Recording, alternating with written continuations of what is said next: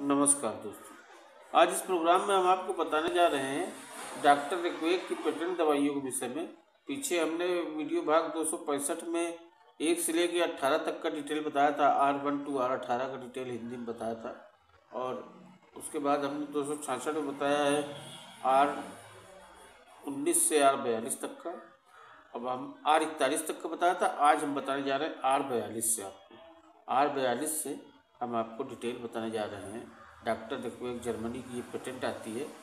इसको जिसे अगर आपको किसी दवा का सही प्रिस्क्रिप्शन किसी बीमारी में नहीं मिल पा रहा है, आपको आराम नहीं हो पा रहा है, तमाम परेशान होने के बावजूद तो आप इस दवा को बिना किसी से पूछे भी आप पेटेंट लिस्ट में देख करके ये दवा ला करके यूज़ कर सकते हैं। तो आज हम आपको आर बयालीस के बारे में बताने जा रहे हैं। आर बयालीस से पूरा बताएँगे जहाँ तक पहुँच सकेगा। आर बयालीस है हेमोवेलिन। सिरास्थैर्य सिरास्फीति सिराशोथ venostasis varicosis inflammation of the veins सिराएँ स्थिर हो जाना, फूल जाना। सिराओं के विभिन्न रोग, सिराओं का छाजन, सिराओं में प्रदाह, निम्नांगों का सिराशोथ हो जाना। इसके साथ ही भारीपन की अनुभूति होना, अंततः छाजन व खुजली हो जाना। तो इस दवा को लिया जाता है। इसके बाद है हर्बा माइन ये दमा का ड्राफ्ट है, अस्थमा ड्राफ्ट है। तो श्वास दमा, ब्रांकल अस्थमा और दमा जनित श्वास नलियों का प्रदाह, मानी कि एलर्जिक ब्रांकाइटिस, अस्थमेटिक ब्रांकाइटिस, श्वास दमा की सारभूत औषधि है ये। यानी कि श्वास दमा, ब्रांकियल अस्थमा और दमा जनित श्वास नलियों का प्रदाह यानी अस्थमेटिक ब्रांकाइटिस जो होती है, उसमें ये फ़ायदा करती है। तो जिन लोगों को दमा है, वो इस दवा को रेगुलर यूज़ कर सकते हैं। लंबे समय तक। इसके बाद है हाइपोटोनॉल रक्त संबंधी विचार, रक्त संचार संबंधी विकार। Disorders of the blood circulation तो संवहन दौर्बल्य और अल्प तनाव, हृदय की दुर्बलता फलस्वरूप आलस आना। तो इस दवा को लिया जाता है, ये है आर चौवालीस। इसके बाद है आर पैंतालीस, इसका नाम है लेरिगिन। ये स्वर यंत्र और श्वास यंत्र के रोगों की दवा है। गले की खराश जो बहुधा गायकों, कलाकारों, शिक्षकों तथा वक्ताओं में पाई जाती है स्वर यंत्र की सर्दी के साथ घाव बन जाने जैसी अनुभूति और खराश तो इस दवा को लिया जाता है। इसके बाद है मैनिडियम। बाहों तथा हाथों के आमवात में हाथ का, बाह का रिमोटिज्म हो जाता है, दर्द रहता है रिमेटिक पेन रहता है तो इस दवा को लिया जाता है। बाहों तथा हाथों का आमवात और गठिया, साथ ही जोड़ों की सूजन तरुण रोगावस्थाओं में जोड़ों का सुन्नपन और सूजन, जो जोड़ों को विरूप रचना व प्रदाह का लक्षण है। जो जोड़ों को विरूप रचना व प्रदाह का लक्षण है तो ये दवा ली जाती है आर फोर्टी सिक्स इसके बाद है न्यूरोग्लोबिन, गर्भाशय संबंधी सारे रोग। इसमें गर्भाशय के अंदर गोला पड़ने जैसी अनुभूति पेट से लेकर गले तक सिकुड़न और रुकावट, शोरगुल के प्रति संवेदनशीलता, स्त्रियों में घबराहट व मूर्छा वायु अन्य गर्भाशयिक अनुभूतियाँ, रात को दम घुटना, गले के अंदर तपकन और सिकुड़न होना, ऋतु स्त्राव नियत समय से पहले व प्रचुर मात्रा में तो इस दवा को देना चाहिए। इसके बाद है पुलमोसोल। पल्मोसोल फेफड़ों की बीमारी की दवा है।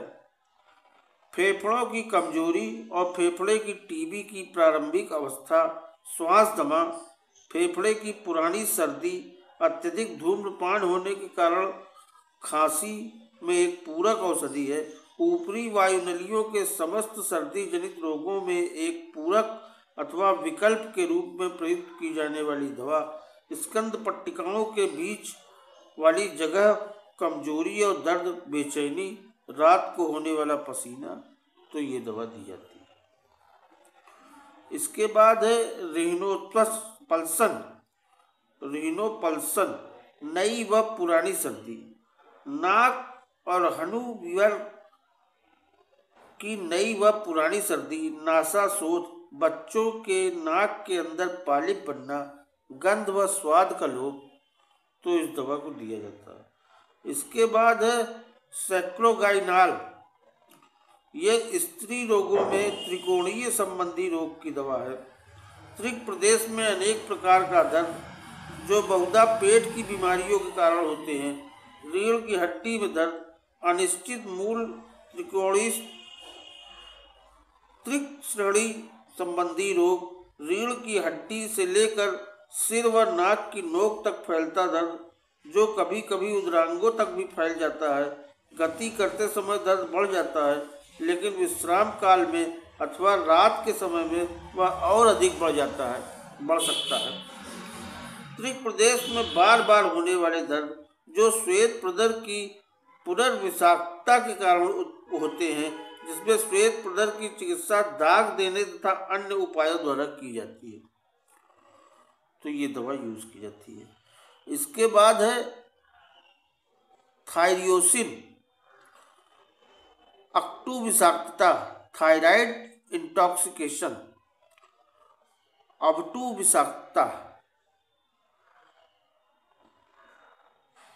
अक्टू विषाक्तता थायरॉक्सिन गलखंड की शिकायत नेत्र सोथी गलखंड अक्टू ग्रंथि की विषाक्त अवस्था के साथ हाथों में कंपन, गागल नेत्र अर्थात नेत्र सोथी गलखंड पसीना, अंततः दस्त और दुबलापन।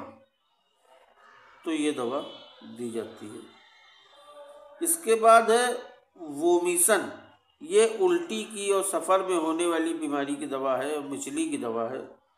मिचली अवस्था की अनुभूति उदाहरण के लिए जब गाड़ी चला रहे हो या वायुयान, समुद्री रूपलता, सगर्भकालीन मिचली प्रशामक प्रभाव, अन्य रोगों के फलस्वरूप होने वाली मिचली संवहन दौर्बल्य, पेट की सर्दी, सगर्भता के भिन्न भिन्न चरण, बच्चों को होने वाली मिचली स्तनपान कराने वाले, करने वाले शिशुओं और बच्चों को होने वाला एसीटोन पदार्थ का वमन सोकर जागने पर तथा पियक्कड़ों की पेट की सर्दी, ठंडा पसीना और कमज़ोरी, खास तौर से संवहन दौर्बल्य तथा पित्तसूल से पहले वक्रसूल के साथ वमन होने पर एक पूरक औषधि। तो ये वो भी शांत थी। इसके बाद है कमडोनिन सामान्य मुहासे यौवनारंभ फुंसियाँ। सामान्य मुहासे फुंसियाँ त्वचा के समूह सपूय तथा पीमय रूप, छाजन और त्वचा का प्रदाह। तो ये जो है मुहासे की दवा है जो यौवनारंभ के समय निकल आते हैं। यौवनारंभ की ये, एकने पिंपल्स की दवा है। एकने बलगेरी से ये। इसके बाद है आर चौवन इम्बेलियन। ये मस्तिष्क के क्रियात्मक दोष। ब्रेन की गड़बड़ी से जो जो प्रॉब्लम होती है, उसका ये इलाज करती है। Functional disturbance of the brain मस्तिष्क क्रिया के अनेक दोष, याददाश्त की कमज़ोरी, स्कूली बच्चों का दोषपूर्ण आत्मिक विकास, विरक्ति, आलस, थकान तो ये दवा दी जाती है। इसके बाद है रूटाविन आर पचपन. घायल हो जाने की सभी अवस्थाएँ, घावों पर विरोहण प्रभाव अनेक प्रकार के घाव, हड्डियों की टूट फूट हड्डी का जोड़ उखड़ जाना, मोच आना, प्रमस्तिक संगठन तथा दिमागी चोट, गोली लगने या तेज धार लग, तेज धार वाले हथियार से बनने वाले घाव जिसमें खून बहता है, इससे जड़ संक्रमण तथा विषैलेपन के लिए एक पूरक औषधि के रूप में तथा सामान्य तौर पर प्रयुक्त किया जा सकता है। क्योंकि शरीर की रक्षात्मक शक्ति पर इसका उद्दीपक प्रभाव होता है। यह औषधि खिलाड़ियों तथा मजदूरों जैसे अत्यधिक शारीरिक परिश्रम करने व भारी भोजा उठाने वाले लोगों के लिए भी लाभदायक है, जिनके हृदय पर अधिक दबाव पड़ता है। आमवाद में इसकी उपयोगिता तब पाई जाती है जब उसका कारण कोई चोट हो।